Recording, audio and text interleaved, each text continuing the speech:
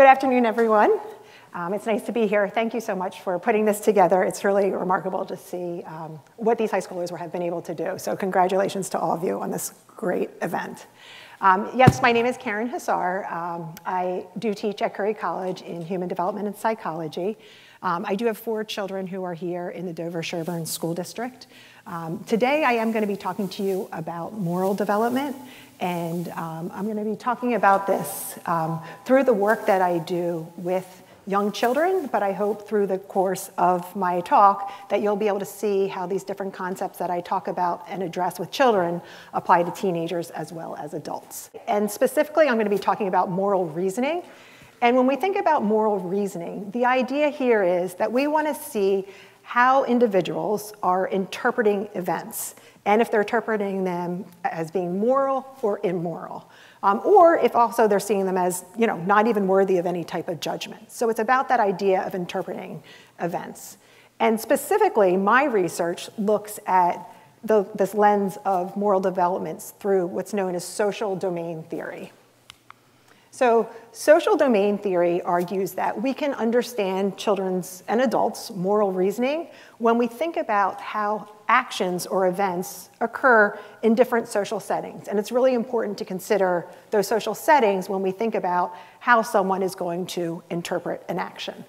So social domain theorists argue for three different domains or like categories or buckets when it comes to classifying actions. So there's the moral domain, the social conventional domain, and the personal domain. So I'm going to spend a few minutes going through each one of those. Um, before I do that, I just you know, want to reiterate that my work has been done with children.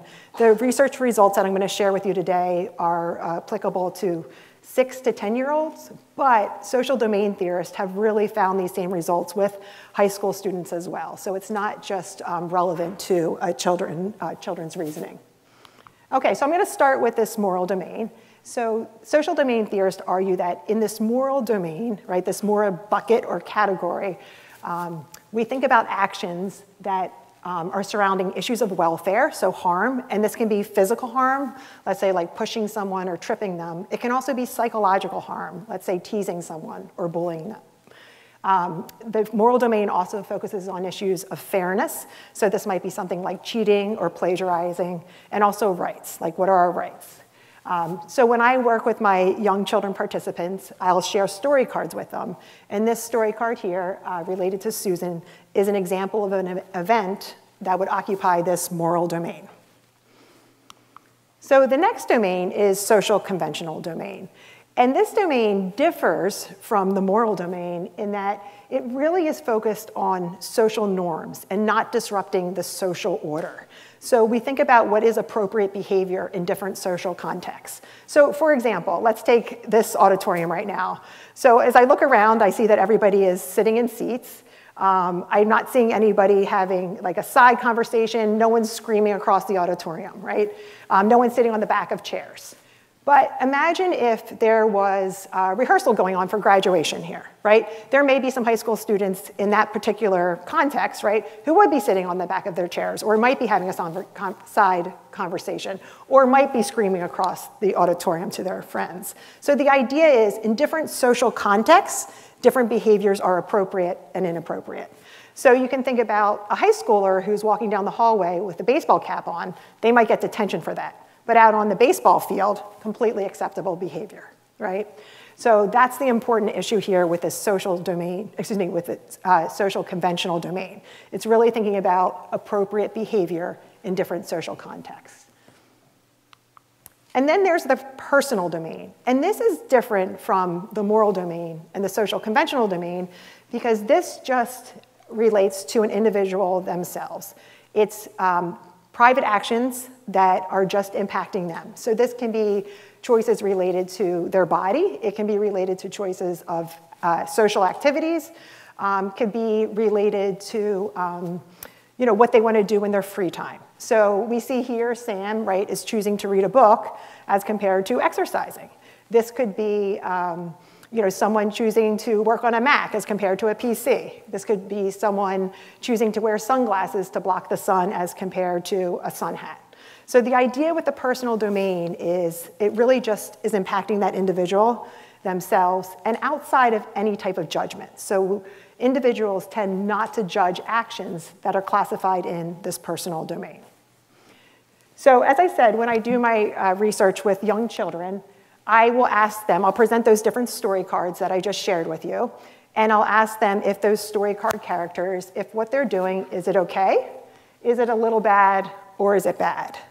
And the results that I have found, and social domain theorists um, have found, this, so this research has been repeated um, many times over, is that children and adolescents are judging transgressions in that moral domain more serious than social conventional transgressions. So they would say it would be worse to, let's say, bully a classmate as compared to wearing a hat down the hallway at school. And why this is really important and why we need to give children and adolescents credit for this distinction that they're making is because if you think about authority figures, whether that be their primary caregivers or their teachers or religious leaders or sports coaches, um, they're going to be told by these authority figures, you know what, you shouldn't be wearing a hat at school, right? You shouldn't bully that classmate. Um, you know, you shouldn't sit on the back of that chair, sit in your seat, right? But children and adolescents are distinguishing for themselves, right, that it's worse to have these transgressions in the moral domain. So they're saying, you know what? I get that I'm disrupting the social order when I wear a hat at school, but it's actually worse to bully someone. So even though they're getting feedback from authority figures, right, that they shouldn't do either, they're making a distinction for themselves that it's worse to harm someone physically or psychologically. So as I said, I think we need to give children and adolescents credit for that, right? That they are doing some internal reflection and making that value judgment themselves and not relying on these external authority figures to tell them what is worse, right? What's more uh, severe in terms of an action. And then the other really nice piece of this data is that we look at this personal domain and we see that children, and once again, adolescents are saying, you know what? Who am I to judge? right? What a person chooses to do if they choose to work on a Mac or a PC, right? If they choose to get sparkling water or still water, right? That's, that's their choice. I'm not gonna put any type of judgment on that. All right, so we see that for events that can be categorized in this personal domain, they are not passing judgment. They're saying, nope, I, I'm not gonna judge this event at all. So clearly, very distinct categories here. And the results here are statistically significant, meaning these are meaningful differences that we're seeing here in terms of how children are classifying these events. Okay, so I've just shared with you actions that can be very neatly categorized into one of these three domains. But as you all know, our world is quite messy. And we can think about events that can't be so nicely categorized into just one domain, right, or just one bucket. So these are known as mixed domain issues. And the idea here is some individuals might look at these actions or events as part of the moral domain, and other people may look at them as part of the personal domain or the social conventional domain. So examples of this might be, um, you know, thinking about uh, same-sex relationships, or it could be premarital sex. It could be getting a tattoo, right? Um, so the idea here is that some people may categorize these events as part of that moral domain, and other people may categorize them as part of that personal domain. Now, the topics I just gave, I shared with you, are really not appropriate to be researching with a young audience, right? So I had to think about what was a topic that I could work with young children um, that got at this idea of mixed domain issues. So I focused on the act of eating meat. And we can imagine that for some children, they would look at it through this moral lens, focusing on the harm, the suffering, right, that these animals endure as they're being raised for meat product, and then even that when they go through that slaughtering process. And we can also imagine that they're focusing on animal rights, right? So they would be interpreting this act of Sam eating meat as part of that moral domain. And in fact, I did see this with my research, research participants. So they had these quotes that you really see where they are highlighting that harm and suffering that the animal's enduring, or they're focusing on those animal rights. So these quotes that we have here really would be categorized as part of that moral domain or an interpretation from that moral perspective. Now, it's also possible, though, that some children are going to look at eating meat as part of the personal domain, right? This is an event that just um, is impacting me. It's my choice what I choose to put in my body um, outside of judgment from other people. Um, and once again, I did find that some of my children in my sample focused on eating meat as part of this moral, excuse me, personal domain. So we see here their reasoning when they cut it from this personal perspective is focusing on, I just don't like the taste of it, right? It, does, it's not, it doesn't taste good to me. Or they're focusing on the health aspects. There are healthier options for me. There are healthier options for my body, right? I want to have uh, a different type of, um, you know, I, I want to have more vegetables in my diet. So we can see that these explanations are really focused on that very personal nature of eating meat and how it's just impacting them. So I argued, right, that certainly we see with these young children that they're looking at eating meat as a mixed domain issue. Some are looking at it from this moral perspective, others are looking at it from this uh, as a personal choice.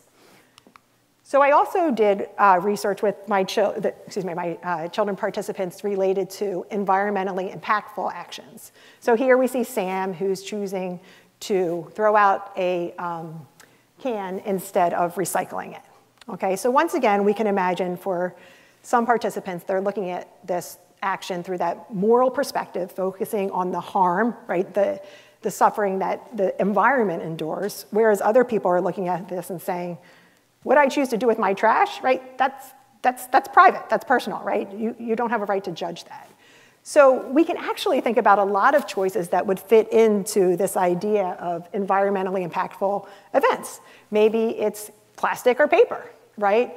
Um, if you are uh, you know, getting your water from a water fountain or buying bottled water. Um, you know, what type of car are you driving? How you choose to get to work? Are you carpooling, right? Are you riding a bike? Um, are you, you know, driving your SUV by yourself, right, into the city every day? So we can imagine, right, with these events, some people may be saying, that's personal choice, right, the type of car that I drive, or how I choose to get to school every day, or, you know, to my office. Whereas other people are like, may interpret that as a moral choice, thinking about that harm that would be done to the environment by um, you know, always getting a water bottle, you know, plastic water bottle when they're thirsty as compared to refilling up at a water fountain. So once again, with my young participants, I did see that they looked at these environmentally impactful actions as mixed domain. Some looked at it from that moral perspective, others through that personal perspective. Okay, so hopefully even these examples of eating meat and these environmental issues you can see how these would be applicable to adolescents and adults as well as young children. So I want to take now the conversation to something that we are all dealing with in society today related to our, the pandemic that we're experiencing. So I'm going to argue that one of the reasons why there's so much tension um, and divisiveness around an issue like wearing a mask is because people are interpreting this through different domains. So we have some people who are looking at wearing a mask as part of that moral domain, right? And they're focusing on the harm, potential suffering, right? They're, they're focusing on the welfare of individuals and thinking about their health. So they're looking at it through this moral lens. And then there's other individuals who are looking at wearing a mask as a personal choice, right? It's a decision that they make for themselves it is re related to their bodies, and they don't feel that other people have a right to be telling them what they can and can't be doing, right, as applies to their body. So I share this with you because I think it's helpful for us to think about how the same action, right, wearing a mask, can be interpreted so differently by different individuals.